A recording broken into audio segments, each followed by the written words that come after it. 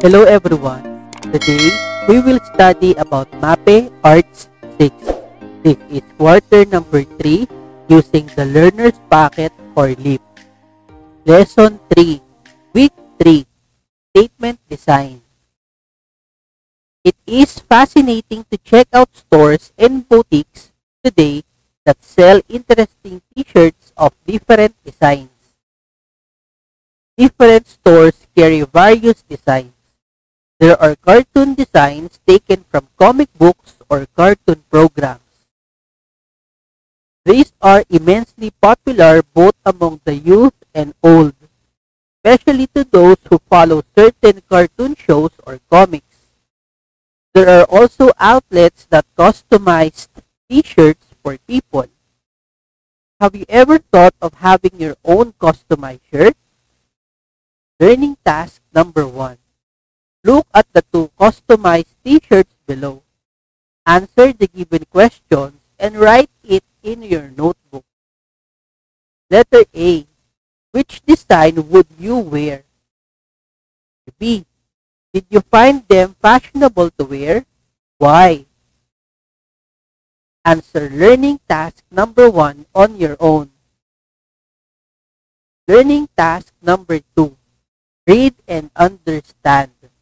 Subscribe to my channel, click that notification bell, like, and write your comment below. In the past several years, statement t-shirts have been trend especially among teenagers.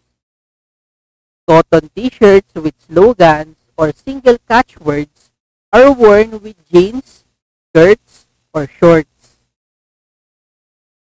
They are not just about being fashionable or following a trend merely used to promote a cause, an event, a product, or even just to show unity. A statement shirt can also express one's personal belief, passion, or interest. Creating unique, inspiring, and interesting designs can be a challenge. Originality is important. The design should also be memorable People also like to buy shirts with meaningful and smart messages. Learning task number three. Think of a concept that you want to show on your t-shirt. It can be an advocacy, campaign, or inspiring message. On a one-half bond paper, create your original statement design. This can be done through print or handwriting.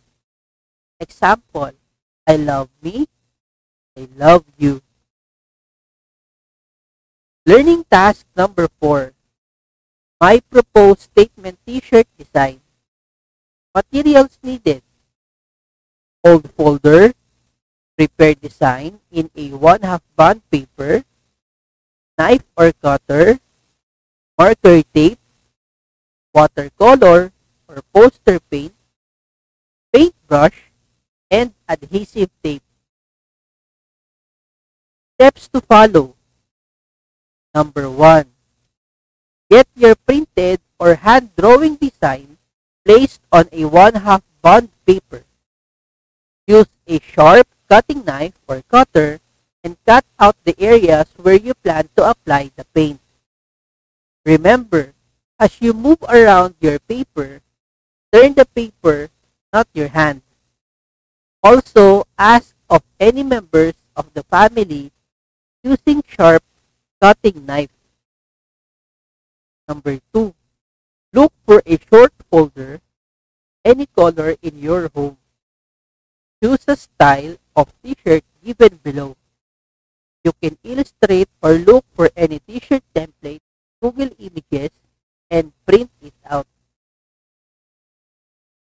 Number 3. Cut out your t-shirt and make sure it is big enough for your prepared design.